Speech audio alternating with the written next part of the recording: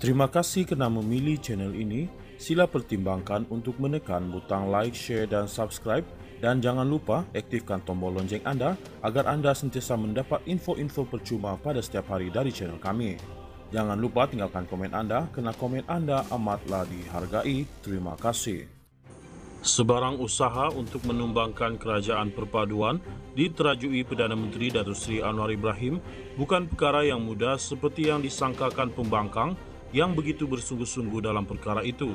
Timbalan Presiden AMNO Datuk Seri Muhammad Hassan berkata, kerajaan perpaduan yang sedang mentadbir kerajaan telah dibentuk dengan sokongan majoriti 2 per 3 selain Akta Anti Lompat Parti 2023 juga telah berkuat kuasa.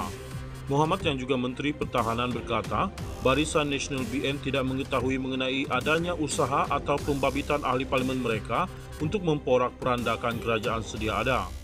Itu laporan yang dibuat pada setakat hari ini. Setahu saya, bagi pihak BN, kami tidak ada apa-apa usaha atau apa-apa ura-ura dilakukan untuk memporak perandakan kerajaan sedia ada kerana itulah janji yang kita telah berikan semasa menghadapi pilihan raya umum PRU bukan sahaja PRU, tapi di pilihan raya kecil PRK dan pilihan raya negeri PRN Melaka dan Johor bahawa kita memerlukan kestabilan demi kemakmuran bersama. Bagi pula, itu terpulang kepada ahli parlimen masing-masing namun sekarang Akta Anti Lompat Parti 2023 sudah berkuat kuasa selepas diluluskan di parlimen Mac lalu dan kamu tak boleh simply walk away dan tak menyokong kerajaan serta mahu menyokong parti lain kerana ia bertentangan dengan undang-undang, katanya dalam sidang media Majlis Rumah Terbuka Kementerian Pertahanan hari ini. Beliau mengulas spekulasi yang mengatakan Perikatan Nasional PN sedang terbabit usaha untuk menjatuhkan Anwar Ibrahim sebagai ketua kerajaan dan membentuk kerajaan baru.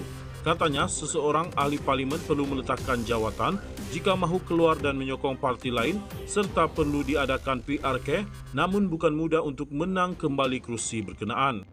Lagipun, kerajaan kini sudah ada 148 majoriti 2 per 3 sokongan dan untuk ditumbangkan adalah satu perkara yang saya rasa agak susah katanya lagi.